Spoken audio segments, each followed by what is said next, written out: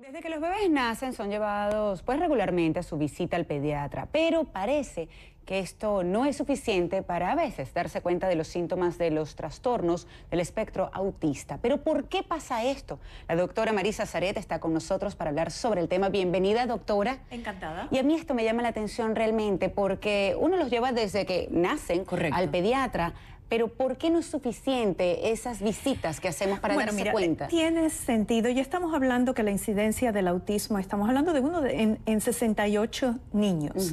O sea, eh, no es que ha ido aumentando, aunque hay, hay, un debate científico en ese sentido, pero nos estamos, nos estamos dando cuenta. Los padres están prestando atención. Es más, eh, en uno de los estudios, de los últimos estudios, se ha visto que el 80-90% de los papás se dan cuenta a los dos años de que algo no está funcionando con su pequeñito. ¿Hay forma de darse cuenta antes? Sí, y ahora, pero voy a responder primero a tu pregunta. ¿Qué es lo que sucede cuando uno va al, pediatra? Estamos hablando de 10, 20 minutos, donde él tiene que chequear una infinidad eh, de aspectos acerca del crecimiento de ese niño. Y honestamente, muchas veces el niño, eh, sobre todo el niño que no es severo, que no tiene síntomas severos, pues se le, se le va, se le pasa esa, esa necesidad de La Academia de Pediatría Norteamericana recomienda que a los, a los 18 meses y a los 24 meses se le haga como un chequeo eh, universal prestando atención a los síntomas de autismo o del espectro autista. Obviamente, Mariale, aquellos niños que los presentan más severos, nos damos cuenta antes. Los niños que son, que, que, son más, que están más fronterizos, pues son niños que nos cuesta más trabajo darnos cuenta. Y así no se note, se debe hacer ese examen a los 18 meses y a los 24 meses. Universal para todos los niños, la recomendación de la academia.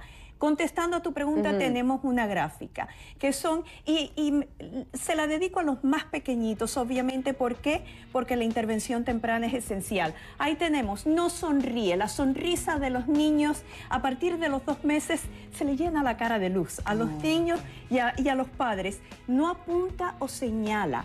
Generalmente los niños a la edad de los 12 meses ya están apuntando, es una forma de decirle a mami, me gusta, tengo miedo, dame eso, de comunicar no responde a su nombre. Son niños que a lo mejor lo, están llamando los papás, eh, Juanito o Carlos, y no responde. Mm. Y los padres dicen, creo que no escucha bien. Y siempre, por cierto, hay que hacerle una evaluación de la audición. Y el retraso en el lenguaje, el niño que no balbucea, el niño que a los dos años no pone dos palabritas juntas, el niño que a los 18 meses no tiene un vocabulario de alrededor eh, de 50 palabras. Así que todas esas señales y el mensaje que yo quiero mandarle a los padres Mariales es que eh, no se avergüencen, que sean proactivos, que ayuden al pediatra, porque el pediatra lo ve por poco tiempo. Claro, eso también. Y a veces ese tipo de señal no se dan cuenta. Es muy corto el tiempo a veces que se tiene. Es muy corto el tiempo y es muy importante. Yo voy a subir a las redes sociales información para los padres que hay hoy en día hay infinidad que les puede ayudar a ustedes a, a mirar esos síntomas que son tan importantes porque la intervención tiene que ser temprana. Yo creo que eso es lo importante, estar muy alerta y tratar de cualquier cosa que suceda, pues detectarlo a tiempo para poder tratarlo. Indudablemente. Muchísimas gracias, doctora. Como siempre, un placer conversar con usted.